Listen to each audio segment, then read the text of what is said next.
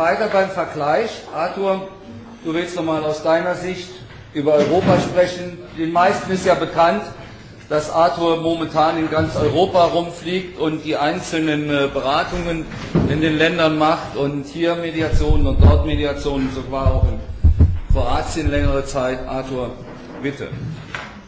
Ja, hallo zusammen. Äh, ich habe es ein bisschen ausgedehnt, Ali. Ich habe beschrieben die Welt der Mediation. Aber das muss nicht bedeuten die Mediation in der Welt. Äh, vieles, was gesagt wurde, äh, ist schon die Zusammenfassung von dem, was ich sagen wollte und äh, deckt sich sehr mit dem. Äh, ich will versuchen, meine Sicht darauf zu schildern. Und wenn ich von Welt der Mediation spreche, ist die Frage, heilt die Mediation oder teilt sie sie? Und wenn wir uns anschauen, was wir Verbände, alles Profimediatoren mit uns machen in Deutschland, dann denke ich, da ist auch sehr viel Teilung dabei. Und wenn wir vergleichen und gucken immer mit der Bewertung, das ist gut und das ist schlecht, denke ich, ist das des Mediators nicht wert. Wir können sehen, was passiert und wir können es äh, zur Kenntnis nehmen, aber letzten Endes müssen wir das machen, was wir selber für richtig halten. Und wir müssen nicht einfach das übernehmen, was irgendwo äh, woanders funktioniert hat oder auch nicht. Äh, in der Mediationslandschaft, also ich bin auch im Deutschen Forum für Mediation, das ist der erklärte Dachverband, wobei das schon wieder sehr provokant ist für andere Mediationsverbände. Äh, wir neigen dazu inzwischen zu sagen, es gibt die forensische Mediation, das heißt die, von der wir hier eigentlich die ganze Zeit reden. Das ist nicht die Gerichtsmediation, sondern das ist die Mediation, die gerichtliche Fälle ersetzen soll. Und daneben gibt es einen viel, viel, viel größeren Bereich von mediativen Fällen oder von Fällen der Mediation, beispielsweise im Innerbetrieblichen, die niemals ans Gericht gingen. Und die Frage ist zum Beispiel, worüber reden wir denn hier, wenn wir über Mediation sprechen? Und es gibt streitige Diskussionen in den Verbänden. Wir sagen zum Beispiel, lass uns doch erstmal klären, was Mediation ist. Alle winken ab und sagen, wissen wir schon längst. Und ich sage, ich weiß es nicht. Weil was ist, wenn wir von Mediation sprechen? Sprechen wir von Haltung, von Ideologie, von Verfahren und welche Art Verfahren meinen wir? Alle Fragen sind offen, aber wir sind alle daran, Gesetze und Regeln zu machen, die andere binden. Äh, dieses, diese Karikatur liebe ich sehr, die hat Herr Heinig gemalt, aber das Motiv habe ich ihm vorgegeben. Äh, und die Frage, die ich immer stelle, ist, wo ist der Mediator? Viele kennen das schon, deswegen, ja, oder gucken Sie mal, was meinen Sie, wo ist der Mediator auf diesem Bild? Die, die es wissen, müssen es ja, also die es von mir wissen, müssen es ja nicht sagen. Äh, können Sie das Bild deutlich erkennen? Ich kann es erläutern. Also man sieht hier die beiden Parteien. Und es war immer, ich bin ja auch äh, in meinem Her äh, Herkunftsberuf Richter. Und für mich war es immer sehr beeindruckend, wenn eine Partei meistens mit einem dicken Pilotenkoffer ankam. Das war so demonstratierte Macht an Argumenten. Äh, in der Mitte, also beide haben diesen Pilotenkoffer auf, äh, auf den Knien, symbolische Argumentationsmacht. In der Mitte ist die Mauer, die also symbolisiert, man sieht die Gegenseite nicht, man ist verblendet. Äh, dann steht da ein Spiegel und da vorne sitzt jemand. Und die Frage ist, wo ist der Mediator? Hinterm Spiegel, ja. Man kann die Hände sehen, wenn Sie ganz genau hingucken, man sieht nur die Hände des Mediators. Der Mediator ist selber gar nicht sichtbar. Ja? Äh, dieses Bild, muss ich jetzt sagen, repräsentiert aber ganz sicher nicht das, äh, was Manus eben von Amerika erzählt hat.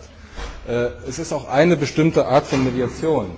Und wenn wir mal hinschauen, also wir unterscheiden vier verschiedene Arten von Mediationen, wahrscheinlich deswegen, weil die aus vier verschiedenen äh, professionellen Situationen kommen. Äh, wir haben die Facilitative Mediation, das ist eigentlich der Ursprung Mediation, das heißt das vereinfachte Verhandeln. Äh, dann haben wir die Evaluative Mediation, das ist die sehr am juristischen Ergebnis orientierte Mediation, die also durchaus auch die Perspektive auf den juristischen Ausgang des Verfahrens mit einbringt. Und dann haben wir das mehr von dem Psychologen kommende oder von dem Pädagogen kommende transformative Element. Das heißt, die Mediation äh, baut darauf auf, dass die Parteien einen persönlichen Entwicklungsprozess haben hin zur Autonomie, um dann selbstständig Entscheidungen zu treffen, ohne dass der Mediator ihnen dabei behilflich ist, die Entscheidung zu treffen. Er hilft ihnen nur, die Erkenntnisgrundlagen für die Entscheidung in sich selber zu finden. Diese Mediation würde dem Bild eigentlich entsprechen. Und dann gibt es eine Narrative Mediation. Das ist eine Mediation, die mit der Technik des Geschichtenerzählens verknüpft ist. Und wenn wir ganz ehrlich sind, Sie sind alle Profis. Was wir machen, ist eigentlich ein Mix aus allem. Äh, meine Aufgabe ist es, Ihnen was über internationale Dinge zu erzählen. Und äh, ich will da gar nicht zu sehr ins Detail gehen. Äh, meine Kenntnisse davon sind, wie Ali sagte, weil ich in verschiedenen Ländern tätig war als Berater und Experte und Gutachter, äh, zuletzt in Kroatien. Und äh, wir hatten immer die Aufgabe, Best Practice Models zu empfehlen und dabei auch den Vergleich zu ziehen mit anderen Ländern. Ähm, was auffällt ist, der Konflikt, den gibt es überall auf der Welt. Und im Prinzip ist auch überall gleich. Und Sie kennen dieses Bild, ich wollte es nicht so deutlich malen, dieser Eisberg, wo man nur die Spitze sieht äh, des Konfliktes und der richtig dicke Konflikt ist auf der Emotionenebene verborgen. Äh, man muss sehen, auch wenn der Konflikt gleich ist, das ist also was jetzt schon sehr deutlich zum Ausdruck gekommen war, die Justiz ist es nicht. Die Justiz ist überall anders. Und wenn wir unterscheiden, dann haben wir in erster Linie zu unterscheiden das angelsächsische System und das kontinentale System. Und ich werde Ihnen nachher ein paar Einblicke geben. Ja, Mannes hat es schon toll gemacht, viel besser als ich das kann, wo der gravierende Unterschied zwischen den beiden Systemen ist. Äh, was wir auch gehört haben, deswegen kann ich mich an diesen Punkten sehr kurz fassen, äh, die, Medi die Justiz hat Einfluss.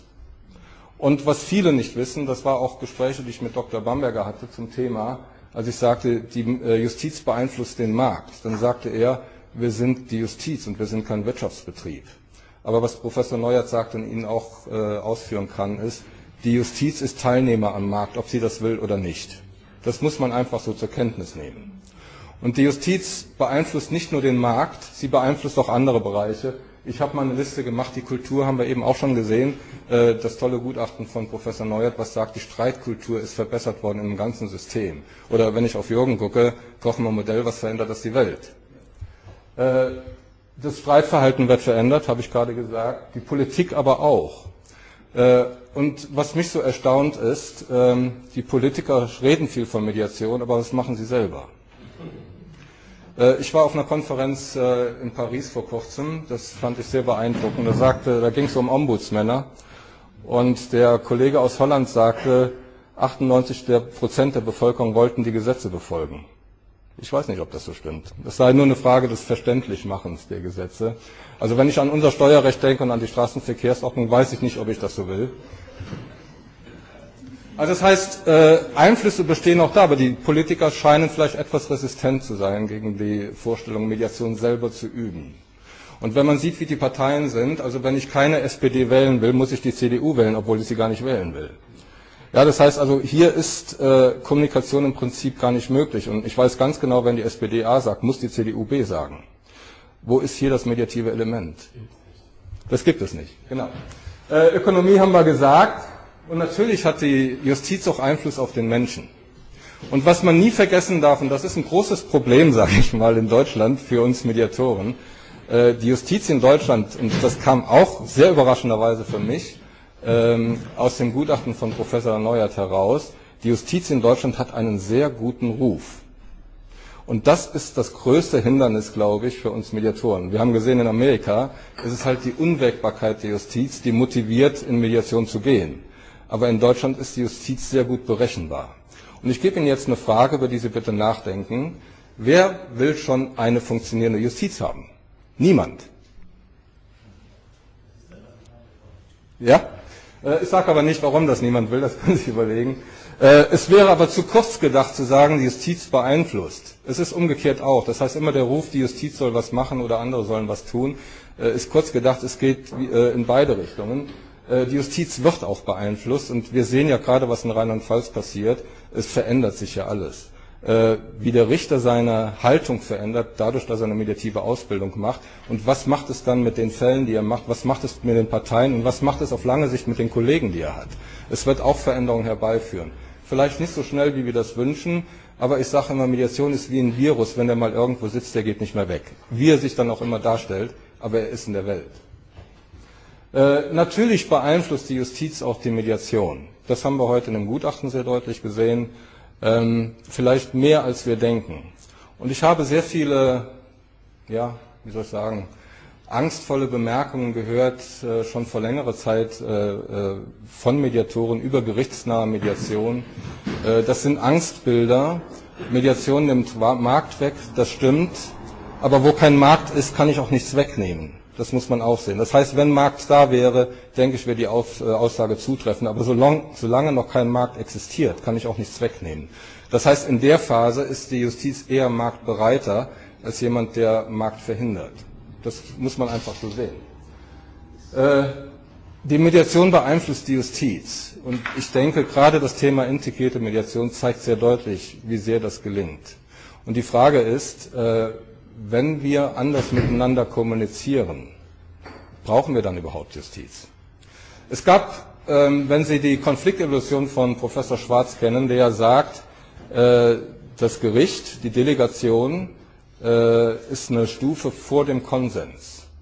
Das heißt, der Konsens kommt erst, das ist, was Manus sehr deutlich gesagt hat, wenn die Delegation, das heißt das Gerichtsverfahren, als chancenlos angesehen oder gescheitert ist. Wir, äh, es gab eine, ein Projekt in Nürnberg, das hieß, hieß ABER, a.be.r. Und die hatten als äh, Slogan, den man auch auf vielen Webseiten der Justiz sehen konnte, probier doch mal die Mediation. Wenn es nicht klappt, ist nicht schlimm, du kannst ja immer noch ans Gericht gehen. Überlegen Sie mal, ich würde sagen, wie es aus meiner Sicht logisch und richtig ist, probier doch mal das Gericht, wenn es nicht klappt, ist nicht schlimm, du kannst immer noch eine Mediation machen.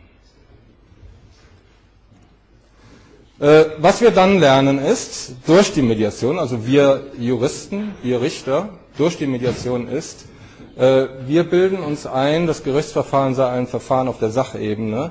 Äh, was ist die Mediation für, für ein Verfahren? Ist in Sachebene ein Verfahren oder ein Verfahren auf der Emotionenebene? Ja, ist eine spannende Frage. Eigentlich ein Sachverfahren, weil letzten Endes soll eine Sachentscheidung getroffen werden. Wir haben in der Mediation halt nur auch gelernt, mit den Emotionen umzugehen und soweit ist auch ein Verfahren auf der Emotionenebene. Ähm, das heißt, über die Mediation wird im Prinzip eine zweite Ebene abgebildet, die von den Juristen einfach mit dem Satz abgetan wird, Emotionen gehören hier nicht hin und wenn Sie heulen müssen, machen Sie das zu Hause. Oder aus dem Businessbereich kenne ich den Satz, der verdient so viel, der soll seine Emotionen zu Hause lassen. Probieren Sie das mal. So, das heißt, über die Mediation kriegen wir ein Verständnis, das heißt weniger über die Mediation als über die Kenntnis von Kommunikation, kriegen wir ein Verständnis dafür, dass die Sachebene nicht die einzige Ebene ist und dass wir eben die Emotionen nicht zu Hause lassen können. Die haben wir halt immer dabei, mehr oder weniger. Äh, aus der Welt des Kunden, die wir leider überhaupt nicht im Blick haben, sieht die Welt aber so aus, aus der Sicht des Kunden. Das heißt, es gibt noch eine Ebene, die eigentlich nie so richtig im Gespräch ist, weil die ist eigentlich über die Verfahrensvorschriften mehr oder weniger definiert. Und wir halten die Verfahren für vollständig, aber leider sind sie das auch nicht. Das ist die strategische Ebene. Wenn man sieht aus der Sicht des Kunden, also das ist, äh, äh das Bild zeigt einen Zeitstrahl. Auf dem Zeitstrahl sind die verschiedenen Nachfragephasen, also die Phasen, die ich brauche, um das eine oder andere nachzufragen. Und auf dem Feld über den äh, äh, verschiedenen Phasen. Äh, da sind die verschiedenen Angebote. Und die Pfeile deuten an, die Richtung, in diese diese Angebote gehen. Das heißt, wir haben in der Phase 1, wo wir uns informieren, nachdem der Konflikt eingetroffen ist, was habe ich eigentlich für einen Konflikt? Äh, das ist die sogenannte monatliche Phase, wo ich den Konflikt mit mir selber ausmache. Wenn ich kein Ergebnis finde, gehe ich in die Phase 2, das wäre dann die dyadische Phase, wo ich einen Berater dazu hole. Das kann auch der Freund sein. Und dann ist es meistens so, die eine Partei sucht den Freund, der sie unterstützt, die andere Partei sucht den Freund, der sie unterstützt. Aber die Zielsetzungen sind völlig kontrovers. Wie kann man da sich einig werden? In der dritten Phase, die dann die, die triadische Phase ist, kommen dann äh, Richter und Mediator dazu. Aus der Welt des Kunden ist das eine völlig unübersichtliche Landschaft und die Gedanken, die wir uns machen, sind den Kunden meistens fremd. Äh, die Anwälte unter Ihnen wissen, Sie dürfen nur eine Partei vertreten, aber erklären Sie das den Parteien, die beide zu Ihnen kommen, sagen, wir sind uns doch einig, wieso dürfen Sie nur eine Seite vertreten? Das heißt, die Welt auf unsere Produkte aus der Sicht des Kunden sieht völlig anders aus und wir sollten anfangen, dessen Sicht äh, wahrzunehmen. Wenn wir das tun, dann fällt auf, dass es ja eigentlich fehlt ein Verfahren, was den Weg über die ganzen Verfahren zeigt. Also im Prinzip ein Metaverfahren. Ein Verfahren, das, dem es gelingt, die verschiedenen Verfahren zusammenzubringen und zu sagen, ja okay, wenn du kooperieren willst, willst, gehst du dahin, wenn du konfrontieren willst, gehst du dahin, wenn du beides machen willst, gehst du dahin. Witzigerweise ist das Gerichtsverfahren das einzige Verfahren, was alle Strategien beherrscht. Die Mediation kann nur kooperieren. Äh, das Gericht kommt immer in den Verdacht zu konfrontieren, aber das stimmt nicht. Im Gericht machen wir auch sehr viele Kooperationen. Jürgen kann das bestätigen. Ja, bitte sag jetzt ja. Okay. Gucken wir jetzt darauf, äh, wie, macht die mit, wie, wie gehen wir mit diesen unterschiedlichen Ebenen um? Also äh, ich sagte, die strategische Ebene, die haben wir noch nicht so im Blick. Das kommt vielleicht mit der Idee der integrierten Mediation. Äh, aber wir haben im Blick die Sachebene und die Emotionenebene.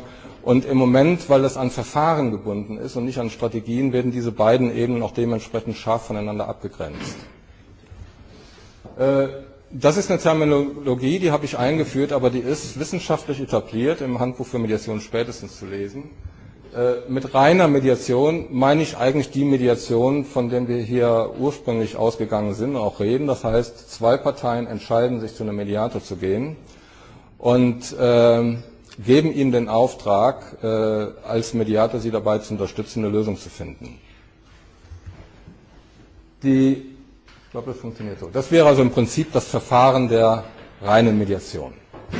Äh, wenn das Verfahren aber im Gericht angefangen hat, was die Mehrzahl der Fälle äh, betrifft, äh, und der Richter will jetzt die emotionale Ebene abdecken und er meint, das würde in der Mediation gut möglich sein, dann verweist er die Fälle in die Mediation. Zu Beginn fing es an mit der gerichtsnahen Mediation, das heißt, er verweist die Fälle an einen externen Mediator. Es gibt äh, sehr viele Projekte, die wir in Deutschland gemacht haben. Das bekannteste war das in äh, Stuttgart, in Baden-Württemberg von Professor Haft. Und die Erfolge der gerichtsnahen Mediation sind äh, eigentlich ökonomisch überhaupt nicht wahrzunehmen, nicht ernst zu nehmen, äh, sehr gering. Äh, aus Gründen, die ich nur spekulieren kann, äh, also meine These ist, dass die Richter dauernd angefeindet wurden und ihnen wurde gesagt, ihr könnt das nicht, das trifft die Richter eher tief haben die Richter dann selbst angefangen, Mediation zu lernen und haben dann gesagt, das können wir auch. Und daraus ist dann das Modell der gerichtsinterne Mediation entstanden. Wobei aber äh, das Verfahren immer noch scharf voneinander getrennt werden. Das heißt, wir haben immer noch auf der einen Seite das reine Sachverfahren, auf der anderen Seite die Mediation, die sich also mit den emotionalen Dingen beschäftigen kann. Und äh, damals war es wenigstens so, als das Ergebnis der Mediation noch nicht vollstreckbar war oder was ich heute gehört habe, ist äh, zu meiner großen Überraschung, dass der mediative Richter, also der Gerichtsmediator, Richtermediator heißt er, glaube ich, dass der sogar Prozesshandlungen entgegennehmen darf, äh, finde ich sehr herausfordernd. Aber wie auch immer, das äh, Verfahren der gerichtsinternen Mediation ist nach der Verfahrenslogik immer noch ein scharf abgegrenztes Verfahren. Äh, das heißt, ich muss jemanden überzeugen, geh doch in ein anderes Verfahren hinein. Und äh, ja, wenn Sie wollen, können wir darüber sprechen. Das setzt eine, also Manus hat das schön gesagt, das setzt eine gewisse strategische Reife voraus. Und Sirchan hatte auch gesagt, äh, er findet es nicht gut, wenn man sagt, die Mediation sei eine Alternative äh, zum Gerichtsverfahren. Äh, er, sagt, er nannte das eine Ergänzung, ich sehe es noch anders. Ich sage, die Mediation ist die logische Konsequenz eines scheiternden Gerichtsverfahrens. Weil die Frage ist, warum sollte ich in Deutschland wenn ich gute Chancen habe, ein Gerichtsverfahren zu gewinnen, in die Mediation gehen. Äh, und ich weiß aus Studien aus Holland, dass die äh, Argumente zum Verweis in die Mediation nicht sind, die Mediation sei billiger und schneller. Also erstens denke ich, das stimmt auch so nicht. Äh, zweitens ist das den Parteien nicht so wichtig, wie man glaubt. In Holland hat sich herausgestellt, dass das Argument für die Überweisung des Verfahrens in die Mediation das Argument der Nachhaltigkeit ist. Das heißt, die Vorstellung, dass ich mit dem Gerichtsurteil ja nicht das Ergebnis haben kann, was ich will. Also in Familiensachen wird es sehr deutlich, wenn ich ein Kind habe und ich habe ein Urteil, bei dem ich obsiege, ich sage mal, ich bekomme ganz viel Unterhalt von meinem gegnerischen Partner, äh, kann ich damit rechnen, dass der sich recht mit dem Umgangsrecht. Das heißt, wenn ich also jetzt an das gesamte System denke und ich will äh, ein gutes Ergebnis haben, brauche ich ein Stück Fortgang von Beziehung. Das heißt, äh, ich muss ein Verfahren wählen, in dem die Beziehung nicht zerstört wird, sondern eher konstruktiv wieder aufgebaut wird. Und äh, da ist das Gerichtsverfahren nicht unbedingt immer das beste Verfahren. Äh, das heißt, wie schaffe ich das, jemanden zu überzeugen, dass ein kooperatives Verfahren das bessere ist, wenn er doch selber die Erfahrung gemacht hat, dass die Kooperation scheitert. Also wenn ich auf meine Frau gucke, die hier vorne geht, sitzt und ihr wollt mich überzeugen, geht doch mal in die Mediation, dann sage ich ja, ich würde ja, aber mit der geht das doch gar nicht. Mit der kann man doch gar nicht reden. Also bitte nicht ernst nehmen, mit ihr kann man sehr gut reden, ja. Aber äh, das ist das Problem. Das heißt, wir haben ja schon eine Erfahrung von Kommunikation. Ich weiß ja, dass man mit ihr nicht reden kann. Und jetzt kommt der Mediator und sagt, ja, ich habe es aber gelernt. So, ist das jetzt wirklich überzeugend? Äh, die integrierte Mediation hat einen etwas anderen Ansatz und äh, ich komme gleich nochmal drauf. Äh, ich wehre mich dagegen, dass man sagt, integrierte Mediation sei eine Anwendung von mediativen Techniken im Gerichtsverfahren. Das ist garantiert nicht der Fall. Weil Sie werden sehen, wenn Sie Techniken im Gerichtsverfahren anwenden, es verbessert das Klima, aber es führt nicht zum Konsens, weil das strategische Moment einfach fehlt. Weil solange ich im Nullsummenspiel bin, äh, habe ich zwar ein nett formuliertes Ergebnis, aber es ist immer noch das Ergebnis eines Nullsummenspiels und meine Strategie ist immer noch die eines Nullsummenspiels und die Strategie im Nullsummenspiel ist garantiert nicht die Kooperation. Das ist die Vernichtung. Ja, komme ich auf das Internationale. Also ich war in verschiedenen Ländern tätig, hier ist eine kleine Liste davon, es waren mehr. Äh, und mir ist Folgendes aufgefallen, also den ersten gravierenden Unterschied, den man machen muss, ist der zwischen den angelsächsischen Systemen, also wir müssen nicht nach Amerika gehen, es reicht, wir nach England gucken, äh, und den kontinentalen Systemen. Als ich das erste Mal in England war, ich kann also die Fotogalerie ergänzen, also mein Lieblingsfoto ist das Foto des Gerichtssaals von unserem Freund und Mediationskollegen Gary Friedman, äh, sorry, Gary Lightman. Äh, ich durfte in seinen High Court äh, äh, Hearing Room. Äh, das ist äh, fünfmal so hoch wie hier. Der Richter sitzt ungefähr da und wenn ich den Richter angucke, dann ist das ungefähr so. Und wenn der die Anwälte sucht, muss er ungefähr da unten auf der Erde irgendwo suchen. So, und in dem Verhältnis ist eine Mediation oder ein mediatives Denken gar nicht möglich. Und Gary Lightman ist ein Verfechter von Mediation, ist sehr bekannt in England auch mit dem Thema. Äh, ich habe äh, ihn dann mal gefragt, ob ich mal mich auf seinen Stuhl setzen könnte, also oben im Himmel.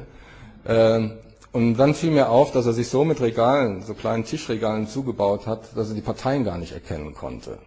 Also der, der Kommunikation verfischt, der für Mediation plädiert, hat sich ein Setting gegeben, wo er die Parteien noch nicht mal angucken kann, wenn er mit ihnen redet. Das fand ich sehr beeindruckend. Und man kann sich vorstellen, wenn Sie jetzt noch wissen, wie geht das Verfahren äh, in England, es ist komplett anders als in Deutschland, weil in England ist der Richter zum Beispiel nur zuständig für die Sitzung, für die eine mündliche Verhandlung. Das ist ähnlich wie bei uns im äh, Strafprozess. Das heißt, äh, in Deutschland beispielsweise geht der Richter hin und ist äh, von der ersten Sekunde des Verfahrens bis zur letzten Sekunde des Verfahrens zuständig auch für den schriftlichen Teil des Verfahrens, welches der überwiegende Teil ist. Das heißt, wenn der Richter strategisch denkt, kann er schon mit der Zustellung des Schriftsatzes Einfluss nehmen auf das Verhalten der Parteien.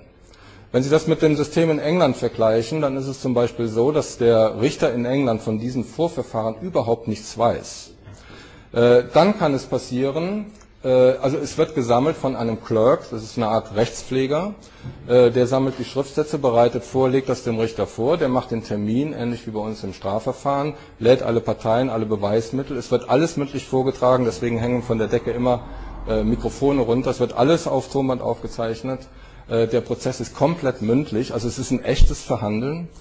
Ähm, und jetzt habe ich gerade einen Faden verloren, sorry. England war ich. Ja, es ist, äh, es ist ein echtes Verhandeln und äh, der Richter, äh, wenn er scheitert, also wenn in dem Termin kein Ergebnis zustande kommt, gibt es einen neuen Termin, da ist komplett nochmal dasselbe. Das alle wird nochmal von vorne wiederholt, es wird nicht fortgesetzt wie bei uns. Es wird nochmal komplett wiederholt und dann kommt noch dazu, der nächste Richter kann ein anderer sein.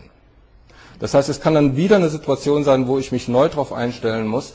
Äh, ich würde so sehen, wie Manus das gesagt hat, die Justiz in England ist unberechenbar, aber sagen Sie es bitte keinem Engländer, der behauptet das Gegenteil. Äh, aber sagen wir, aus unserer deutschen Sicht ist es einfach so, äh, was passiert, äh, ist halt schwer planbar. Äh, da ist natürlich ein großes Interesse äh, der Parteien zur Mediation zu gehen und die englische Justiz unterstützt es auf eine faszinierende Art und Weise. Es gibt zwei Dinge, die ich sehr beeindruckend fand. Das eine war nach der Wolf-Reform, die Engländer brauchen nicht so viele Gesetze wie wir, und die machen einfach Gerichtsentscheidungen. Und da gab es eine äh, Art obergerichtliche Entscheidung, dass die Partei, die im Vorfeld einer Mediation nicht zugestimmt hat, also Mediation abgelehnt hat, dass die nachher, obwohl sie den Prozess obsiegte, auf allen Kosten hängen blieb. Und die Kosten im englischen Prozess kann man nicht vergleichen mit äh, uns, die sind wirklich beträchtlich. Das heißt, wenn Sie in England äh, ein Mediationsangebot ablehnen, rächt sich das ganz fürchterlich. Das heißt, Sie gehen also schon mal lieber in die Mediation ähm, und lassen sich auf dieses Spiel ein. Äh, was ich auch gesehen habe, in England die Unterstützung von äh, Mediation ist äh, vorbildlich. Also wenn Sie in England in den Gerichtssaal reinkommen, haben die tolle Plakate, wo über Mediation informiert wird. Und anders als hier, und das ist ein großes Argument für Mediation, ähnlich wie Manus das beschrieben hat, geht der Mediator, oder es sind meistens irgendwelche äh, Vereine, geht äh, in, den, in den Warteraum vor dem Sitzungssaal und darf da Akquise machen. Also er darf da auf die Parteien zugehen, die auf ihren Gerichtstermin warten und darf, während sie warten, von der Mediation, äh, die Parteien von der Mediation überzeugen. Äh, das wäre, ich glaube, in unserer Vorstellung zu viel Nähe zum Business. Aber das ist in England überhaupt kein Problem. Und was auch faszinierend ist, in England macht man Telefonmediation. Das heißt, in den sogenannten Small Cases ist ein Rechtspfleger ausgebildet für Mediation und den können Sie anrufen und der ruft dann hin und her an, ähnlich wie Mannes das äh, geschildert hat im Caucusing und überzeugt dann die Parteien davon. Äh, und das ist für die auch alles unter dem Begriff Mediation abgehakt und wird als, als statistisch ist es wirklich sehr erfolgreich. Ja, äh, Niederlande ist sehr spannend. Also die Idee der gerichtsinternen Mediation, wir denken immer, das kommt von Niedersachsen, das ist nicht ganz wahr. Äh, die Idee kommt aus Holland. Also die Niedersachsen haben das den Holländern abgeguckt. Und als ich in Kroatien war, war meine Kollegin Marietta aus Holland, sie ist eine bekannte Mediatorin. Äh, wir haben natürlich über das Thema ausgiebig diskutiert.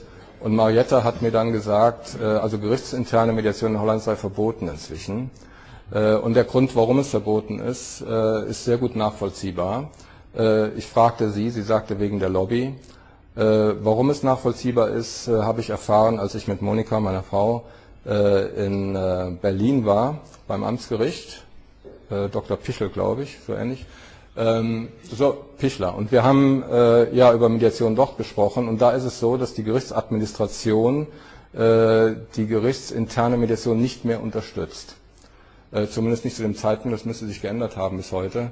Der Grund ist der, und das hat äh, in Kroatien konnte man das sehr, sehr schön sehen, da gehe ich gleich etwas näher drauf ein. Äh, der Grund ist der, äh, dass die Richter, die Mediation machen, natürlich ihre Arbeit gut machen wollen.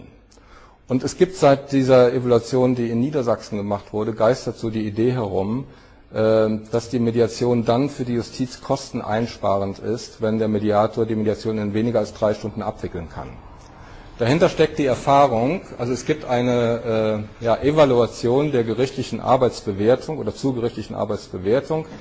Ähm, jetzt bitte, wenn ich das falsch sage, Pepsi, glaube ich, Maya, ja, Pepsi. Und da kam raus, dass ein Richter durchschnittlich drei Stunden am Fall arbeitet. Witzig ist, wenn man es mit den Anwälten vergleicht, ist durchschnittlich eine Stunde. Äh, das über, überrascht jetzt und erschreckt Sie vielleicht, aber das ist ein Durchschnittswert. Das sind auch die Fälle, die sofort sich erledigen, weil die Klage zurückgenommen werden oder die einfach liegen bleiben, wo man also keine Arbeit hat. Man wollte dann wissen, äh, wo ist die Arbeitsbelastung des Richters und wie viel arbeitet der woran. Und da kommt dieser Durchschnittswert von drei Stunden her. Das wird jetzt also auch durchschnittlich einfach übertragen. Und da kam dann die Idee her, wir sind in der Mediation, in der gerichtsinternen Mediation dann garantiert kosteneinsparend, wenn die Mediation in weniger als drei Stunden erledigt ist. Das kam dann zu der irrigen Idee, äh, dass in manchen Ländern gesagt wurde, die Mediation darf nicht länger als drei Stunden dauern, wenn es eine gerichtsinterne Mediation ist. Äh, das ist natürlich eine echte Herausforderung und ich kann Ihnen sagen, ich mache Familienmediation mit Monika zusammen. Wir haben es noch nie geschafft, eine Familienmediation in drei Stunden zu erledigen. Also wir brauchen mindestens zehn. Ja, und wenn, je nachdem wie der Konflikt ist, sogar noch mehr. Äh, in drei Stunden erledigen wir so das Sachen, äh, ja, die halt wenig Beziehungskonflikt ausdrücken oder die man äh, sehr evaluativ erledigen kann. Aber wenn wir eine Mediation in Familiensachen machen, wie wir sie für richtig halten, das wäre eine transformative Mediation, es ist unmöglich, das in drei Stunden zu schaffen. okay, es gibt Ausnahmen, äh, so dass im Prinzip man sagen könnte, äh, gerichtsinterne Mediation in Familienangelegenheiten ist sowieso sehr fraglich. Dann kommt das Modell von äh, Jürgen Kochmer Praxis, die dann im Prinzip die Arbeit verteilt auf verschiedene Instanzen. Und man kann jetzt äh, das mediative Element eher virtuell begreifen, begreifen, praktisch so von der Metaebene und jeder macht ein Stückchen darin, dann kommt man mit der Arbeitsaufteilung besser hin. Ja, Kroatien war deswegen sehr beeindruckend, weil in Kroatien gibt es äh, ein Gesetz, äh, glaube ich, seit äh, zehn Jahren. Ja, Mediation, Mediation Law is 10 years old, is it? Ja. Äh, und da steht drin, äh, dass der Richter, also zumindest haben wir das so ausgelegt, äh, ausschließlich Mediation verweisen darf in die gerichtsinterne Mediation. Das war ein großer Stress und der Stress war auch Teil unseres Projektes, weil die externe Mediation, die haben das natürlich nicht gerne gesehen. Fakt war aber, dass in allen Bereichen der Mediation seit diesem Gesetz die Mediation eher rückläufig war, statt dass sie sich vermehrt hatte. Und wir waren berufen, äh, Empfehlungen zu geben und die Fehlerquellen herauszufinden, warum es so war. Wir waren ein Expertenteam von drei äh, Experten, die an der Frage arbeiten. Und wir hatten verglichen dann das deutsche natürlich System, das englische, das holländische und das österreichische. Wir kamen zum Ergebnis, das war ganz interessant, die Empfehlung lautete, fördert einfach die Lust an Vergleichen, ohne zu differenzieren, in welchem Verfahren und achtet darauf, dass die Qualität der Vergleiche möglichst in den Bereich des Konsens kommt und nicht des erzwungenen Konfliktes bleibt. Dazu muss man wissen, also die Ursache, die wir festgestellt haben für das Scheitern der gerichtsinternen Mediation, ist die, äh, der Pensenschlüssel, also die Bewertung der Arbeitsbelastung des Richters. Und in Kroatien ist es so, dass die Richter also erstens mal äh, sich selber das Gefühl geben, sie seien faul, wenn sie kein Urteil machen. Das hatten wir in Deutschland auch mal. Ähm, dann aber ist es so, dass äh, die Pensenbewertung, also ich habe in Erinnerung, ähm, der Pensenschlüssel war 150 Gerichtsentscheidungen im Jahr. Und ich kann Ihnen sagen, äh, I hope you will not be angry about me now. ich kann Ihnen sagen, äh, das ist ein relaxtes Leben. Also wenn ich nur 150 Entscheidungen treffe, das heißt also zweimal dieselben Entscheidungen wären zwei Entscheidungen. Also wir haben einen Versicherungsfall, äh, das ist, äh, ich sag mal, vom Sachverhalt eine wiederholende Sache, nur die Namen der Parteien ändern sich. Äh, das ist, äh, äh, denke ich, überschaubar. Und wenn er jetzt, yes. und wenn er jetzt einen Vergleich macht oder wenn er das Verfahren abgibt an einen Mediator, dann ist sein Pensum im Prinzip weniger als ein Drittel davon. Das heißt, er müsste fünfmal mehr Fälle erledigen. So, und für den Richter in Kroatien gefühlt war der Verhandlungsaufwand, um die Parteien in eine Mediation zu bringen, ungefähr derselbe, wie wenn er äh, verhandelt hätte, um ein Urteil zu schreiben. Das heißt, er hat nicht wirklich eine Entlastung gespürt. Deswegen hat man, äh, äh, da gehe ich gleich noch drauf ein, man hat eine Schnittstelle geschaffen, einen sogenannten Court Agency. Das werde ich gleich erzählen. Österreich ist noch sehr spannend. Österreich kennt keine Gerichte. Muss, muss ich mich beeilen? Viertel nach? Vier? Das heißt? Soll ich Pause mal gleich weitermachen, oder? Ja, mir ist egal. Wollt ihr Kaffee trinken, mach ich gleich weiter, ja? Wir haben jetzt Kaffee jetzt bestellt. Ja, mir ist das recht. Mach mal. Wie lange brauchst du denn noch? Ja, so lange wie du willst. Nee, Brauchst du fünf Minuten oder zehn? Ja, zehn, 15 Minuten würde ich sagen. Oh, fünf, bis zehn Minuten. Was? Fünf bis zehn Minuten können wir doch noch warten, ist doch kein Thema. Auf den Kaffee? Ja. Gut, dann mach ich mal weiter. Also machen wir so, auch zwischen 5 und 10 Minuten noch, dann machen wir dann Kaffee. Okay? Gut, ich kann auch schneller machen. Also Österreich ist noch interessant, äh, äh, weil ich in Kroatien sehr engen Kontakt mit einem äh, ja, der führenden Mediatoren in Österreich hatte, ist die Idee der, der, der integrierten Mediation jetzt auch in Österreich angekommen. Und er wird das dem Ministerium dort vorstellen und er fand die Idee auch sehr gut. Also in Österreich gibt es nur die gerichtsnahe Mediation in unserem Wording. Ähm, es gibt keine gerichtsinterne Mediation. Äh, es gibt äh, das Mediationsgesetz, was Sie kennen. Es schreibt eine Ausbildung von 350 Stunden vor.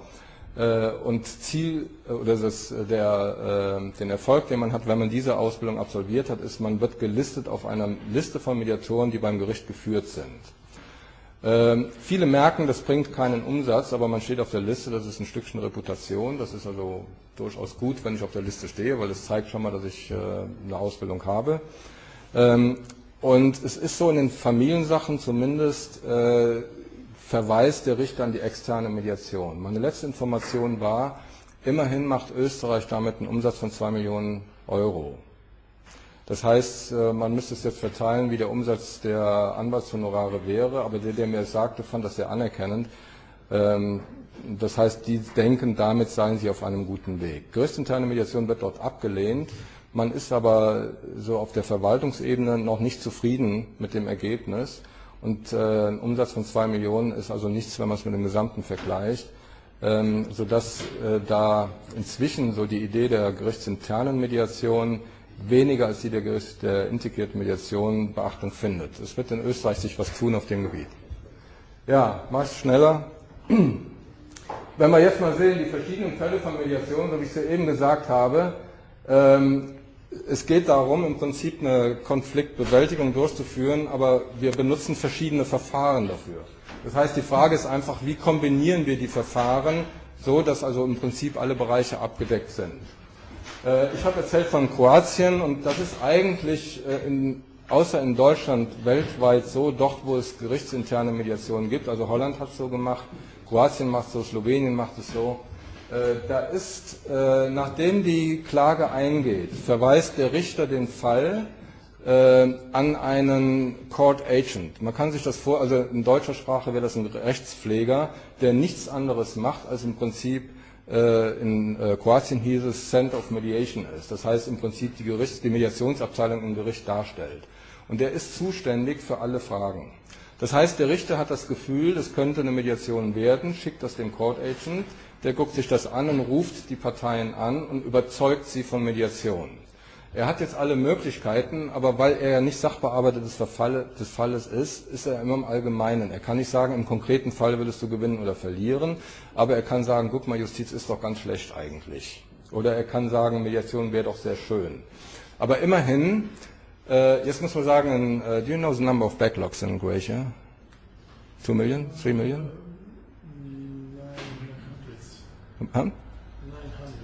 900.000. Also die, die Aktenrückstände in Kroatien, also Kroatien hat zweieinhalb Millionen, nee, how many inhabitants do you have? Two, two and a half million? Ja. Yeah. Viereinhalb Millionen Einwohner und 900.000 äh, rückständige Verfahren bei. Ja, so you have improved it. Okay. Äh, also Kroatien hat sehr, sehr viele Aktenrückstände und ähm, deswegen haben die eigentlich ein großes Interesse, dass dieses Verfahren in der Mediation abgeführt werden kann. Äh, dieser Court Agent ist zuständig dafür. Ähm, und der Vorteil ist, dass der Richter selber sich nicht um die Akquise für Mediation kümmern muss. Also der Court Agent ist nochmal eine neutrale Instanz. Der Nachteil ist, dass dieser Court Agent aber vom konkreten Fall keine Ahnung hat. Er kann nur allgemein Plätze sagen. Und so ist der Erfolg, also in Kroatien war es mäßig. In Holland ist das gleiche Ergebnis. Äh, in Holland geht man immer mehr dazu, äh, auf den integrativen Gedanken der Mediation. Äh, und die Richter, die in Mediation ausgebildet sind, können das selber sehr gut entscheiden. Und meine Erfahrung, ich habe es immer genannt, als ich Richter war, ich mediiere an. Das heißt, ich fange einfach an zu mediieren und im Lauf dieses Prozesses haben die Parteien eine Erfahrung davon, wie Mediation funktioniert. Und dann ist die Frage, wollt ihr das extern machen, viel leichter zu stellen und auch leichter zu beantworten. Spannend war für mich, die eine Schnittstelle ist wohl definiert und im Ausland sehr, sehr deutlich. Also es gibt eine klare Abgrenzung der Mediationsabteilung gegenüber der Gerichtsabteilung. Es gibt äh, Kroatien sehr schön Akten mit einer eigenen Farbe, mit eigenem Aufschrift, eigener Briefkopf. Also es ist wirklich eine völlig getrennte Sache von der Justiz. Bringt natürlich auch viele Investitionen mit sich. Ähm, ich wundere mich immer, warum ist diese Schnittstelle so im Visier und nicht die andere? Also dann, wenn die Mediation scheitert. Äh, wir kümmern uns dann nicht darum, wie geht es weiter mit den Parteien, sondern wir sagen so, sorry, ist gescheitert, und dann gehen die wieder zum Anwalt und landen wieder bei Gericht. Äh, meine Erfahrung ist aber die, ich erinnere einen Fall, der mich sehr beeindruckt hatte in Altenkirchen äh, war mal eine Anwältin, ohne dass sie ein Gerichtsverfahren hatten, rief die mich an und sagte, Herr Tossen, können Sie nicht mal einen Termin machen, ich komme mit meinen Mandanten nicht klar. Und da ist mir klar geworden, eine Not, die Anwälte haben und die Parteien haben, stellen Sie sich vor, Sie wären krank und ich wäre Ihr Arzt und ich sage Ihnen, Sie sind lebensgefährlich krank und Sie haben Krebs. Äh, und Sie werden morgen sterben. Ja. dann gehen Sie ganz sicher zu einem anderen Experten und lassen diese Entscheidung überprüfen. Äh, in der Justiz gibt es das eigentlich nicht. In England gibt es ein sehr schönes Verfahren, das heißt ENA, ich vergesse immer, wofür die Abkürzung steht, Early Natural, weiß nicht was. Das heißt, Sie können, ohne dass ein Gerichtsverfahren anhängig ist, zum Richter gehen und können ihn fragen, wie würdest du diesen Fall entscheiden? Das gibt Orientierungshilfe. So in dem Fall, wo die Anwältin mich angerufen hatte, ging es um nichts anderes. Das heißt, die Partei hat ihr nicht wirklich geglaubt, dass ihre Rechtsauffassung richtig war, aber sie war richtig. Und als ich das als Richter gesagt habe, war alles easy und die Parteien haben sich vereinigen können. Das heißt, so die Zusammenarbeit wird von den Mediatoren immer unidirektional gesehen, auch von der Justiz. Das heißt, die Justiz muss abgeben in die Mediation. So in meinem Verständnis von der Welt ist die Zusammenarbeit aber durchaus auch bidirektional. Und was auch schon mehrfach gesagt wurde, ich sehe die äh, Richter, Anwälte als ein Team. Und letzten Endes arbeiten wir alle am selben Ergebnis, nämlich eine konstruktive Konfliktlösung für die Parteien herbeizuführen. Das heißt, irgendwo haben wir ein gemeinsames Ziel. Was ich jetzt versuche, ist Sie auf einen anderen Rahmen des Denkens zu bringen, mehr auf die Metaebene nämlich darauf, wie sieht das aus mit den Verfahren über die Verfahren? Welches Verfahren regelt denn überhaupt, was passiert, wenn ein Verfahren scheitert und wenn ein Verfahren erfolglos ist, wie die Verfahren miteinander kombinierbar sind? Dafür haben wir keine Regel, außer integrierte Mediation. Das wäre in unserem Denken mit drin, weil wir im Prinzip die Sicht nicht aus der Verfahrenslogik sehen, sondern aus der Kundenlogik. Das heißt, der Kunde hat ein strategische, äh, strategisches Konzept zur Konfliktlösung und das Dumme oder Glückliche ist, das ändert sich alle fünf Minuten, weil er macht es ja abhängig von dem, was die Gegenseite tut. Und jetzt wird das im Prinzip der Gang durch den Konflikt wie ein ja, wie kann man sagen, Amoklauf, das ist kein straighter Weg, sondern es geht hin und her. Und er hat eigentlich gar keine Unterstützung darin, den Weg so zu führen, dass man das ganze System im Blick hat. Oft wechselt er auch den Anwalt. Ähm, wenn er meint, der Anwalt sei nicht erfolgbringend, geht er zum anderen. Das ganze Spiel fängt von vorne an. Das ist so ein Schnipselwerk. Aber so eine durchgängige Logik oder ein Verständnis dafür, was muss ich tun, damit ich zu einem konstruktiven Konfliktergebnis komme, was auch nachhaltig ist, gibt es bei uns nicht. Äh, es wäre auch kein Verfahren wahrscheinlich, was das machen kann, sondern mehr die Verfahrensweise, wie gehe ich grundsätzlich vor mit meinen Konflikten. Und da ist integrierte Mediation eigentlich die Antwort, die man geben kann. Das heißt, wir unterwerfen die Verfahren der Mediation und machen es nicht umgekehrt. Ja, was anerkannt ist, wo ich kein Problem kriege, wenn ich jetzt äh, mit jemandem von einem anderen Verband spreche, dass es möglich sei, mediative Techniken in einem anderen Setting anzuwenden, also Beispiel Gerichtsverfahren, da besteht großer Konsens. Meine Erfahrung ist, es nutzt, wie gesagt, aber nichts, wenn ich im Nullsummenspiel bin. Wir reden netter miteinander, aber ich bin immer noch in einem strategischen Spiel äh, und behalte mir vor, durch Vernichtung den Prozess äh, oder den äh, Konflikt zu lösen und gehe auch immer noch davon aus, dass das funktioniert. Das heißt, wir brauchen mehr als nur Techniken äh, der Fragestellung oder aktives Zuhören. Das ist sehr wichtig, aber es wird meine Strategie nicht verändern. Das, was wir brauchen, ist im Grunde den kompletten Werkzeugkoffer der Mediation. Und der sieht so aus. Das heißt, äh, ich sage meinen Studenten immer, wenn die Mediation scheitert, liegt es an der Haltung, es liegt an der Struktur, damit meine ich den Ablauflogik, die Ablauflogik. Äh, was haben wir noch? Genau, es liegt, äh, also es liegt nie an den Techniken, es liegt immer an der Haltung, an der Strategie oder an der Methodik. Und mit Methodik meine ich äh, das Verstehen. Äh, Techniken sind äh, gut, helfen die Mediation schneller und perfekter zu machen, aber ich denke nicht, dass Techniken alleine zum äh, Gelingen oder Scheitern der Mediation beitragen. Wenn ich als Mediator die Haltung eines Richters habe, kommt kein mediatives Ergebnis dabei raus. So einfach ist das. Sie können sich jetzt überlegen, was wäre, wenn ich als Richter die Haltung eines Mediators hätte? Was käme dann dabei raus? Ja, äh, meine Empfehlung ist, wenn ich alles das, was ich äh, im Ausland so erfahre, zusammenfasse, äh, wir sollten es nicht nachmachen. Wir übernehmen viel von Amerika. Das beste Beispiel, was mir gerade einfällt, ich war mit Monika in Österreich als Trainer und dann gab es ein Feedback und dann wurde mir wurde ich kritisiert. Ich würde immer warum fragen. Das sei, wie haben Sie gesagt, das sei auf der Watchliste. Warum dürfte man nicht fragen? So, ja, ganz genau. Ne? Also der, der, Hintergrund ist, man hat das von Amerika übernommen, da ist äh, Don't Ask Why. weil die Frage nach dem Why heißt, äh, ist eine Aufforderung zur Rechtfertigung, aber im Deutschen ist das Warum hat verschiedene Bedeutungen. Es kann bedeuten, warum hast du das getan? Die Frage wäre nicht erwünscht, aber es könnte auch bedeuten, warum willst du das haben? Und die Frage ist sehr erwünscht, dann wäre es nämlich mehr ein Wozu. Aber das passiert, wenn wir einfach Dinge kopieren, ohne darüber nachzudenken, ohne die trans zu transformieren. Und die äh, Justizen in den angelsächsischen Systemen, die ist wirklich so unterschiedlich, dass man einfach nicht kopieren sollte, sondern überlegen sollte, das ist ein interessantes Vorbild, aber wie würde das in unsere Welt hineinpassen? Sodass meine Zusammenfassung und mein Credo ist, don't copy it, be it.